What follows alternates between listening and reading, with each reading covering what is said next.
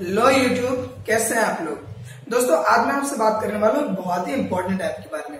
इस ऐप की मदद से एक 20 साल के आदमी को 40 साल के दिखाए जा सकते हैं। अगर कोई इंसान रो रहा है तो आप उसे हंसता हुआ दिखा सकते हैं। हाँ दोस्तों, मैं बात कर रहा हूँ फेस ऐप के बारे में। ये वही ऐप है जो जून 2019 में काफ़ी ज़्यादा वायरल हुआ था, जिसको मिलियंस में लोगों ने इंस्टॉल किया था। लेकिन उसके जस्ट कुछ टाइम बाद काफ़ी ज़्यादा कंट्रोवर्सी हो गई जिसके बाद मिलियंस में ही लोगों ने इसे अनइंस्टॉल कर दिया था। तो आखिर ऐसा हुआ क्यों? तो दोस्तों, देखते रहिए आप इस वीडियो को, और आज मैं आपसे बात करने वाला हूँ फेस ऐप के बारे में। तो दोस्तों, बात करें ये जो फेस ऐप है, ये कहाँ से आया और इसे किसने बनाया? तो ये दोस्तों, रशिया के थ्रू बनाया गया एक रशियन कंपनी है वायरलेस लैब जिसने इस ऐप को बनाया। और ये बनाया कब गया? ये 2017 में। हाँ दोस्तों, ये दो साल पुराना ऐप है। लेकिन ये अभी क्यों वायरल हुआ। एक्चुअली क्या है, जब ये स्टार्टअप में आया 2017 में, तब भी इसे काफ़ी लोगों ने यूज़ किया। लेकिन उस टाइम पे भी कंट्रोवर्सी हुई, जिस बेसिस पे इसको उस टाइम बंद कर दिया गया था।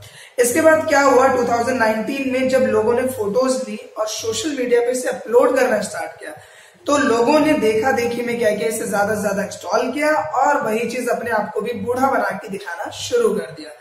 इसके बाद दोस्तों, बात आती है कि ये काम कैसे करता है। तो इसमें दोस्तों यूज़ किया जाता है ए आई टेक्नोलॉजी का, जिसके बिहार पे ये क्या करता है कि आपकी 20 साल की फ़ोटो को ये 40 साल की फ़ोटो में कन्वर्ट करके दिखाता है। अब दोस्तों, इसके बाद मैं बात करूँ ऐसा क्या हुआ? जब लोग इतना एंजॉय कर रहे थे तो क्या हुआ कि इसे बंद करना पड़ गया? तो बेसिकली दोस्तों, हमें पता है कि कुछ भी नई चीज़ आती है तो हमें तो चाहिए। और हमारे यहाँ प्रॉब्लम क्या है कि हम चीज़ों को पढ़ते नहीं, फटाफट इंस्टॉल कर लेते हैं। तो उस टाइम पे भी लोगों ने ये किया, इसकी प्राइवेसी में साफ़ साफ़ लिखा हुआ है कि आप अगर इसे इंस्टॉल करते हैं तो आपकी फ़ोटोज़ को और आपके फ़ोन में भी जो फ़ोटोज़ है, उनको हम अपने हिसाब से यूज़ करेंगे।